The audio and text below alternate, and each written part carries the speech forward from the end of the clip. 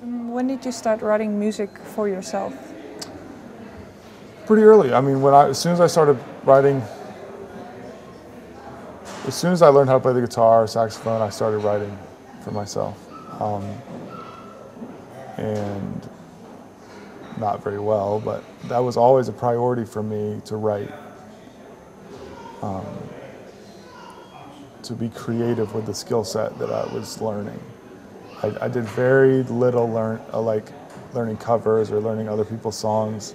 I really shied away from that, um, probably to my detriment a little bit, because I, I, never wanted to learn other people's songs. And then when you're in school for it, you know, you have to do a lot of writing. Um, so it kind of went from there. And after I got out of college, I started a couple different bands.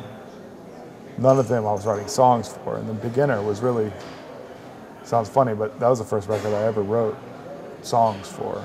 Um, kind of out of necessity. It definitely sort of a accidental songwriter, but it, it's something I've really embraced and really love. Why out of necessity? Say that again. Uh, what you said you had to write out of necessity. Yeah, yeah, because um, without too much backstory, I started a label with the idea that we'd have a house band and, and we'd bring people in to make records for them. But that requires an awful lot of trust from an artist, and we really didn't have the experience or hadn't demonstrated that we were worth that trust. And so instead of trying to convince an artist to, to come to us, um, it made the most sense for me to make a record to sort of demonstrate what the team could do. And so I sort of volunteered to make the record and said, I'll make a record under my own name. I've been wanting to do that anyway. I said, okay, great. Put the dates on the calendar and then write the songs. Okay. And let's see.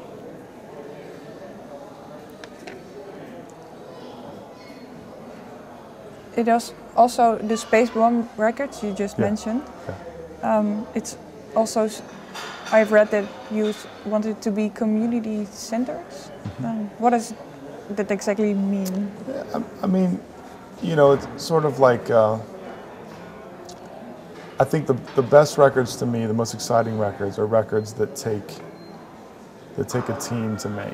You know, um, I think of records like uh, Marvin Gaye's "What's Going On" or, or Beach Boys' "Pet Sounds" and and uh, or a lot of those like Simon and Garfunkel, late late Simon and Garfunkel records or the Beatles records. Um, they, ke- you know, those records have a team working on them. They have they have this, you know, whatever the central players are, and then they have orchestrators and arrangers, and then string section, horn section, and and a producer who's sort of organizing all of that stuff. And and I think music is music is a as a medium is really effective in that way. It, it, it becomes, you know, people have always played music in big groups. That's as old as time probably literally, you know, and, and it's really powerful in that way. And in the past, in the 60s and 70s, labels worked a lot like that. They, they were the, they were the, uh, they were facilitating music in a different way than they are now, in the sense that it was very vertically integrated business. They decided who the artists were, then they decided what the songs were, and then they decided who the producer was, and he decided who the players were, and then he facilitated the sessions, and off they went. And I think there's something really powerful to that, and and we all. I'm also fortunate enough to to have that capacity, that have the capacity to do that stuff in Richmond. There's a lot of really good musicians there. Um, so that's why we organize Spacebomb. We organize Spacebomb to invite people to come in, to work with our brain trust of musicians, which is really four people. It's me and Cameron Ralston, who plays bass, Pinson Chanselle plays drums, and Trey Pollard does string arrangements, and also does some production work. And those guys and myself, we work together to to formulate what the core of a record is going to be, and then we, inv- you know, whether it's my record or whether it's Natalie Prass's record or whatever, and then we invite, we write the arrangements. I write the horn arrangements, Trey writes the string arrangements, and we invite musicians to come in and, be- and be a part of that and, and play the music we write, and and it, it becomes a very community event. At the end of the day, I mean, I think there's 40 people that played on my new record. A lot of that is because they play in big sections, but it still is a nice feeling to have that amount of human energy on a song. And uh, you know, Motown did the same thing, and Phil Spector did the same thing. They didn't think of it as a community event, but when you look back on it, that is what it that is what it was. And there's always an economy to it, and there's a, a it is a business and it is a work of art. It's very serious, but it's it, it is at the also at the end of the day a time for people to, to play music together and and I feel like that's what my music is about. That's what Spacebomb's music is about. It's about facilitating human relationships, whether that's me and you talking here, whether that's me performing for an audience, whether that's someone buying my record and listening to it at home, whether that's me in the studio with lots of people. It's all about music being shared between people and, and music made by people. Do you think that's something that lacks in other record companies these days? Uh, I don't think it's something that's better. I just think it's something that I prefer. So like, uh, and and sometimes that sort of music, that sort of shared relationship is different. I mean, EDM is a good example. In its conception, isn't particularly human to human. There's not a, there's not definitely not 40 people in the studio making that music.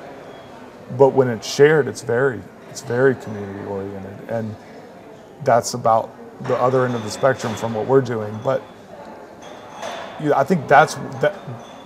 But that is where music finds its home. It is where it affects the community, and that music has found a home because there's a, a vast community that experiences it together in the same way. So that's really cool. I'm not particularly interested in making that kind of music, but it doesn't. Um, what I don't I don't view what I make as better. I just view it as what I prefer to make, and I prefer to make music like that. So that's what I choose to do. And so you um, you wrote your first album in this way, Yeah, and the second one as well. Then, yeah, pretty much. uh, but what was the starting point for the second album, Fresh Blood? What do you mean? What was the starting? Well, point? um, uh, at what moment did you sit down and think, "Hey, I'm going to make my second record now," or how did it Um, come together? I guess. Well, there's all you know. I always feel like it's good to get down the road a little bit on it as soon as you can. So I started thinking about it and making notes about it pretty early on, um, and uh, as that moved into you know as we got done with touring, big for Big Inner, it, you begin to kind of start the clock a little bit. Um, so basically, I worked on Big Inner. I mean, on Fresh Blood from February one to October one. Um, that's kind of the official time. Um, once I started in February, I had a long list of production ideas and reference points and uh, recording ideas, engineering ideas, all that kind of stuff. I was bringing that to the table, but I started writing songs loosely in January, but really in February, March, April. Um, spent time on the songs and spent time in pre-production with the band and learning the songs and sort of fleshing out what we were actually going to be playing and, and working on arrangements. And then July, August, September was in the studio with the band and then with the strings and with the horns, with the choir, with guitars, lead vocals, all that other stuff. and what was the first song that you started writing for Fresh Blood?